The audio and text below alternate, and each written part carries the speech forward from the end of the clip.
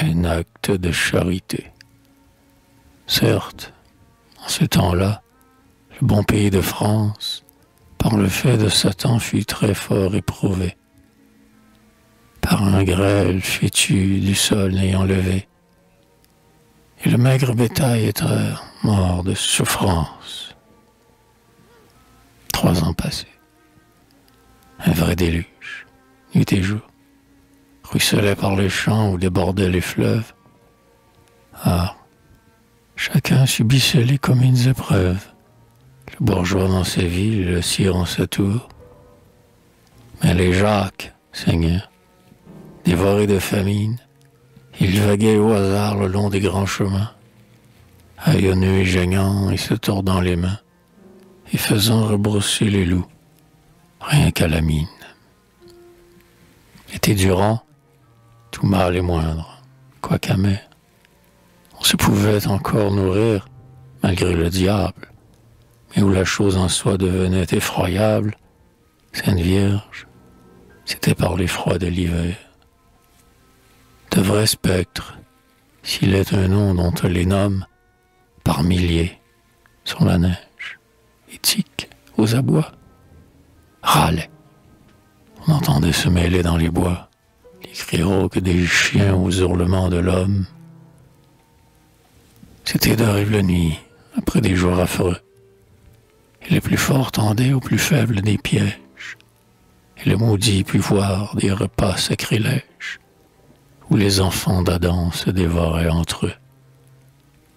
Donc, en ces temps donnés, une très noble dame vivait dans son terroir, près de la cité de Meaux.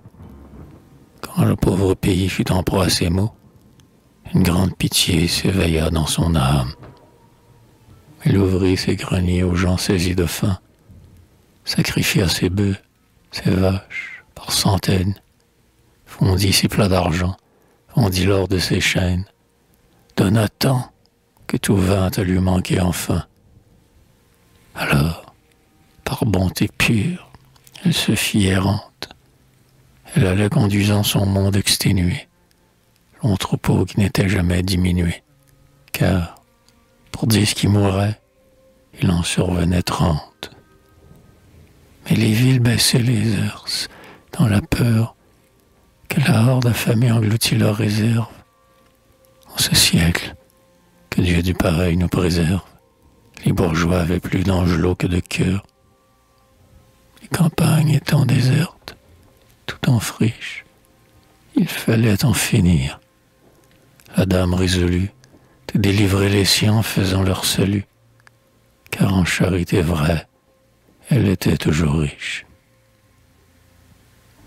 Une nuit que six cents mendiants s'étaient mis à l'abri du grand froid en une vaste grange, pleine de dévouement et d'une force étrange, elle barricada tous ses pauvres amis. Aux angles du réduit de sapin de chaume, versant des pleurs amers, il alluma du feu. J'ai fait ce que j'y pu. Je vous remets à Dieu, cria-t-elle. Jésus vous ouvre son royaume. Tous passèrent ainsi dans leur éternité, prompte mort, d'une paix bienheureuse suivie. Pour la dame, en un cloître, elle acheva sa vie. Que Dieu la juge en son infaillible équité.